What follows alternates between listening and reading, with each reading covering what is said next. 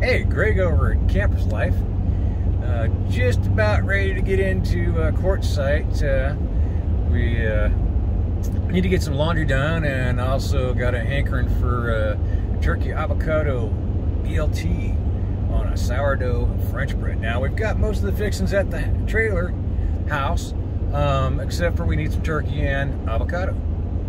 So I'm coming in to do that, and at the same time, Gonna get a load of laundry done. Wife's uh, back at the trailer right now, uh, kind of relaxing.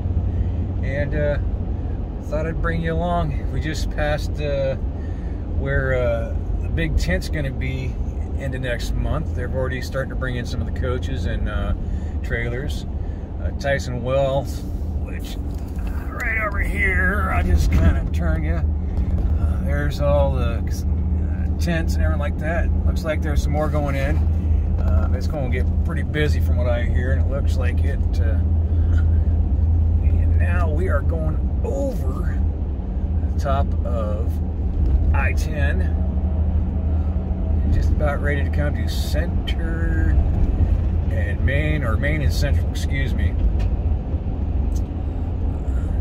in Quartzsite. So this is actually pretty neat. It's only about four miles from where we're at doesn't take too awful long to get into town when we need to. Um, currently, right now, just so you have an idea, fuel rate here, Union 76, um, is uh, 375 for regular unleaded and 413 for diesel.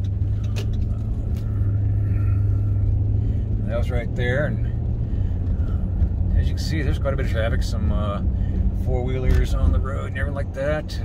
Saw a bunch of them yesterday uh, pulling out of uh, the um, La Posa South. They were heading on a little run and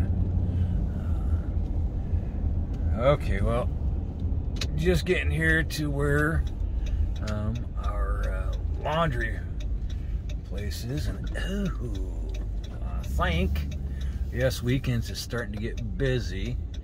So we got quite a few people here, but I think I can actually still get in. So I am going to park, get the laundry, throw it in there, get her going, and then uh, when I get done, I will come back to you. We've like got the laundry in the washer. Uh, it's set. I'm coming out, put our detergent away. Uh, now we only uh, just wash our laundry here. We actually have a clothes rack that we uh, hang them and dry them. Saves a few dollars on uh, laundry. Oops. Got to unlock. Yeah. There we go. Don't want to lose money, so pick it up.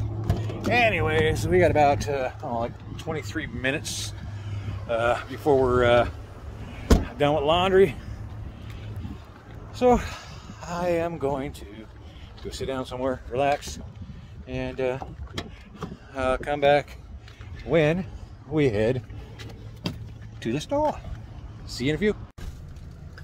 Well, still waiting for uh, laundry to get done. Uh, probably about another 10 minutes. Um, but I was just sitting here watching something and I'm not going to video it because I'm not going to show who it was or anything like that. But uh, if you have an aggressive dog uh, with you, please um, park away from the entrance of the laundromat. Um, I watched as multiple people walked by as this gal had her dog on a leash and the dog lunged at him.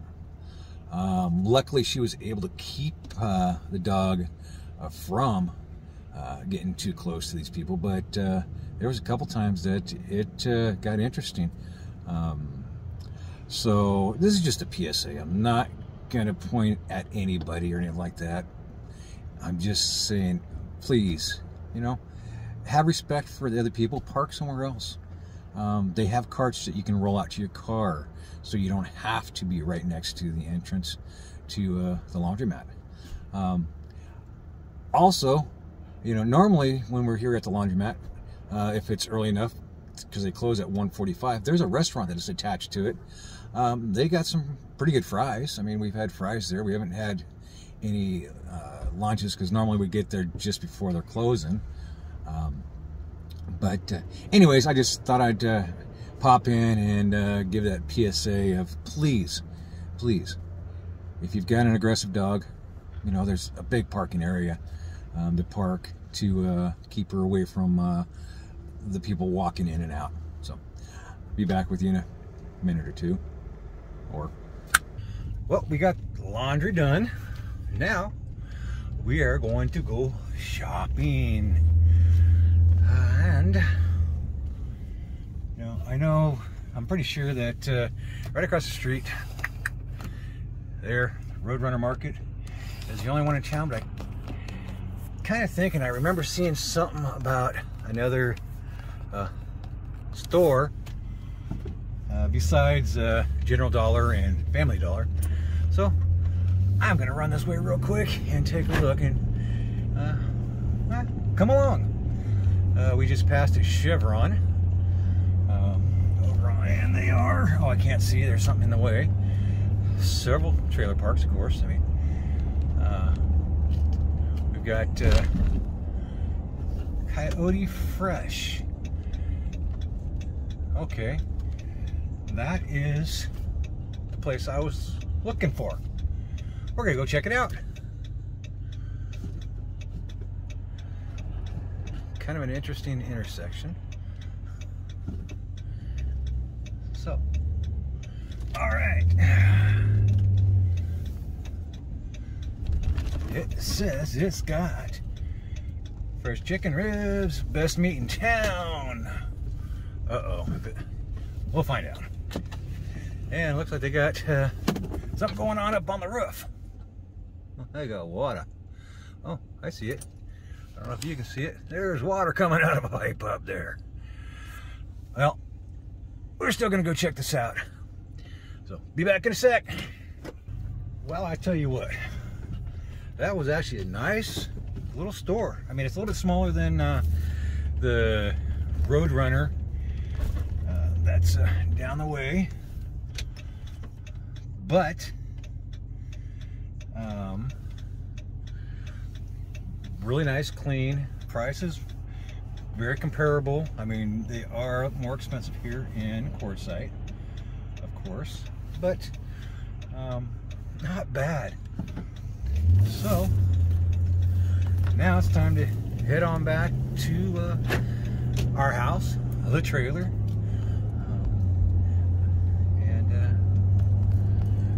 start uh, making some uh, turkey avocado BLTs. I tell you what, I told the gal behind the counter at the meat deli what I was making. Oh, she about drooled. I think she was going to have to slice herself a extra pound of uh, turkey uh, so she can make some. Anyways, just uh, trying this out, seeing how this is doing. I mean, if you guys like it, please leave some comments in the section below and uh, let me know.